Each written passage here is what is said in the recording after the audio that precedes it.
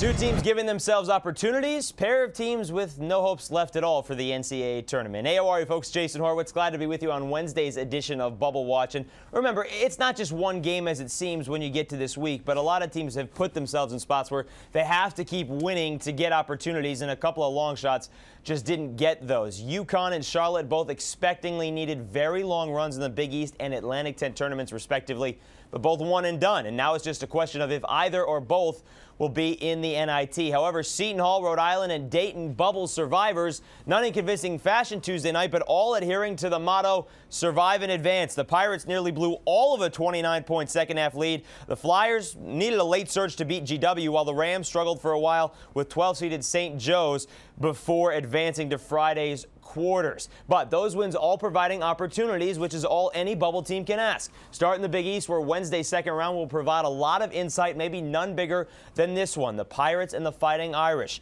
Numbers very similar. Seton Hall, no bad losses. Notre Dame, four consecutive wins against RPI top 60 teams, three of those against the top 50.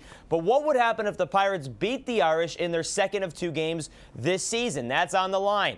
Winner moves on in that game to play Pittsburgh, a team that both have beaten this season. Meanwhile, Georgetown's in, but South Florida could move itself back into the observation with a second win this season against the Hoyas, and then would improve its strength of schedule by playing Syracuse again. Not much doubt with Marquette, but RPI not great, so make sure to beat St. John's. Meanwhile, Louisville's two wins against Syracuse probably have the team as safe, but wouldn't help to lose to 11 seed Cincinnati. I mentioned the A10 first round games.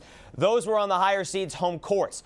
Tournament moves to Atlantic City for the quarterfinals. Doesn't start till Friday. St. Louis and Rhode Island, both bubble squads in most people's opinion. So that's a great opportunity for both. More so for the Billikens since their strength of schedule not very good. A Dayton win over Xavier would go a long way as well. Championship game in the A10 Sunday on CBS. Something else Tuesday night to point out would certainly help those bubble teams and others no upset in the Horizon League Championship. Wright State wasn't going to get in without the automatic berth. Butler certainly was. And the Bulldogs, with their 25 point win, kept the spot open. Also, probably helped their seeding. Bulldogs will enter the NCAA tournament on a 20 game winning streak, the longest in the nation. Now, the Northeast Conference, the Big Sky Conference tonight, they'll play their finals. No bubble impact there with any of those squads. Meanwhile, the Big 12 and Pac 10 tournaments begin. So too do Conference USA and the Mountain West. But the teams in those conferences that will need to address the entire top of the Pac 10 Memphis, UAB, San Diego State they don't get going until Thursday. So we'll talk about those teams tomorrow. Remember to check Jerry Palm's projected field each day here on CBSSports.com.